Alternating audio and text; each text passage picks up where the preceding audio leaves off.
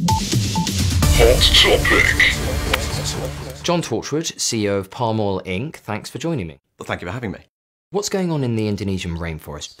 Loads. I mean the mass deforestation you're almost solely responsible for.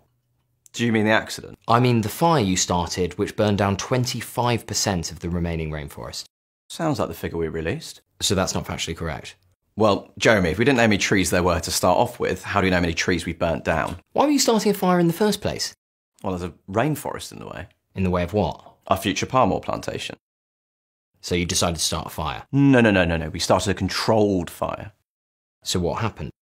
Well, it just became a little bit uncontrollable. Surely you should know how unpredictable fire is. Now we do, yeah. It's fire. Yes, Jeremy, but it's only supposed to burn the trees on our land. How would how would fire know the perimeters of your land? Well, We've, we've put signs up everywhere and a fence. Uh, it's. Pretty sure even you could tell. Yes, but I'm not fire. Clearly, because you're neither hot nor yellow. John, you've decimated 1.3 million hectares of the critically endangered Bornean orangutan's habitat. What would you say to them? Um, can I use English? Yeah, I'd say check your bloody emails, mate.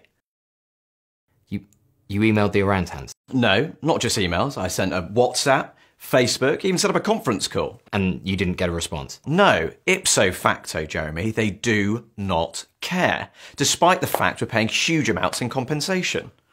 In what form? Snacks. Snacks. Snacks, yeah. Uh, Pringles, Nutella, uh, super noodles, stuff we all need. They need Pringles. We're showing them that their homes have contributed to something far greater. Like Oreos. And Maltesers. Palm oil deforestation has killed over 50,000 orangutans. Staggering, yeah. I think they'd rather stay alive than have a pack of biscuits. Jeremy, I'm sorry. Can you stop speaking on their behalf, okay? They're grown monkeys. Let's leave it there. John Torchwood, thank you so much for joining us. Thank you.